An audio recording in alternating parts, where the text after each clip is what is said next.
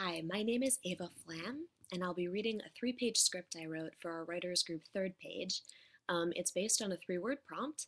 The words are passage, forbearance, and pull, and the name of this script is Apteryx Calling. Interior living room evening. Stuart reads a book, Flightless Birds of Oceania, in an armchair under a lamp. Natalie wanders in. Stuart, I'm reading for science. Natalie, can I join you?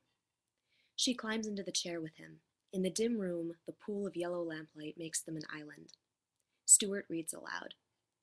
In the summer night, the Kiwi male makes his heroic trek up the mountain, a yearly rite of passage. Cut to exterior mountain, New Zealand, night.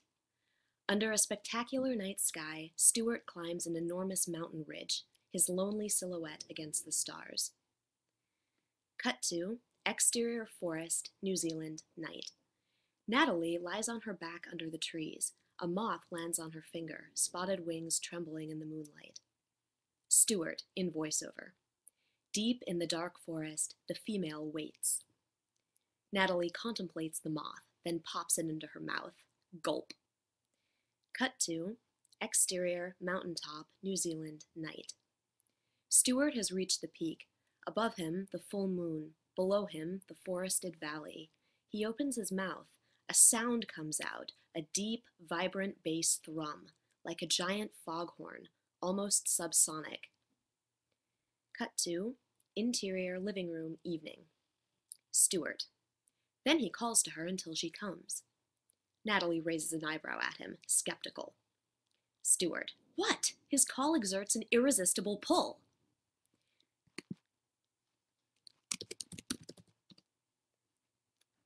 Cut to exterior forest, New Zealand, night. Natalie hasn't changed position. A torn moth wing darkly stains one corner of her mouth, like blood. She contemplates her fingernails, which are filthy. Stuart's bass thrums in the ground. Natalie. Meh, I forbear.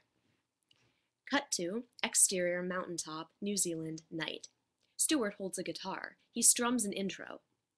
Cut to interior living room evening. Natalie shaking her head. There are these things you think you're really good at, and I love that about you, but no. Cut to exterior mountaintop, New Zealand, night. Stuart has an idea. He calls softly into the dark. Natalie, cheese fries! Cut to exterior forest, New Zealand, night. Stuart's voice carries faintly on the wind. Natalie's head snaps up. Her eyes gleam with a reflective yellow sheen a sound like a thunderclap as she extends enormous wings. She explodes into the sky with a fierce, wild screech. Cut to interior living room evening. Stuart, absolutely not. You're flightless. It's about standards. She smiles like a predator. Huh, guess I evolve. Stuart, oh, fine, fuck it. Cut to exterior mountaintop, New Zealand, night. Stuart and Natalie approach each other, tense, wary, distrustful. He slowly extends his hand to her. She hisses. He pauses and then touches her face. Cut to interior living room evening. Stuart's hand on Natalie's face. Natalie switches the lamp off.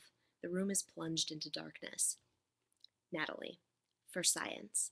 In the dark, sounds like the New Zealand forest.